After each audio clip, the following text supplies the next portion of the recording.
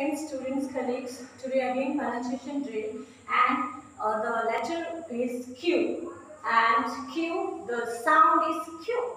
Q.